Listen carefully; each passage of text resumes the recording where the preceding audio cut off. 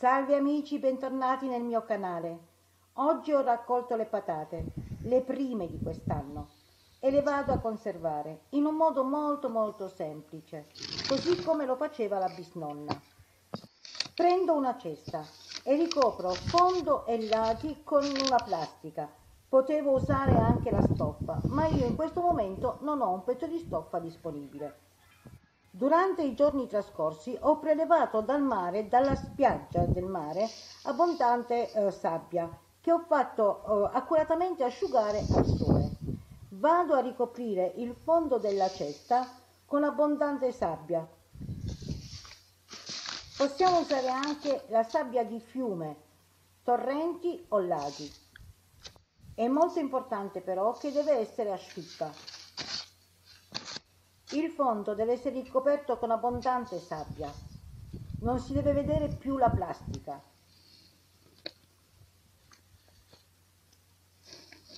Aggiungo sopra la sabbia le mie patate, alcune delle mie patate, ben sparse tra loro. Ops, in un lato mancava la sabbia, abbondante. La vado ad aggiungere.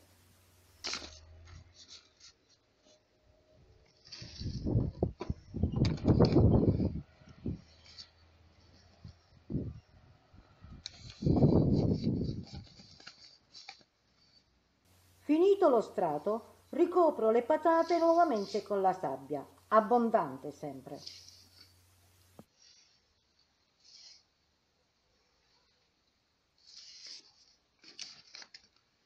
Farò vedere qua vicino.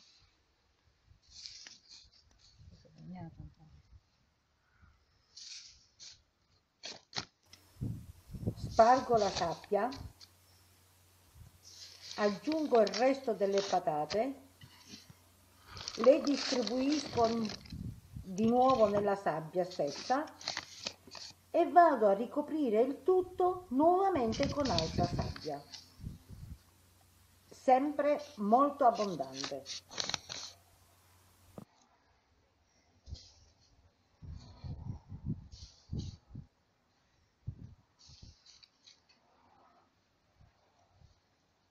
Mi accorgo che la sabbia è ancora un po' umida al centro. Non ci sono problemi, la metto di lato e prelevo quella abbastanza asciutta. È importante questo procedimento.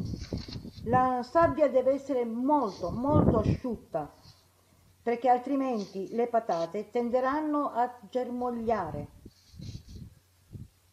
Le patate nell'antichità si conservavano in cantina, sottoterra ma io non ho la cantina e quindi mi adopero della cassetta.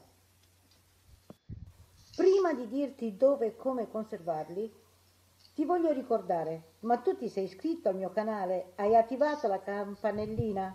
Fallo, non te ne pentirai. Una volta ricoperta con molta molta sabbia tutte, tutte le patate, andate a riporre tranquillamente una cesta sopra l'altra, cioè una cassetta sopra l'altra, in un posto fresco e buio. Ciao!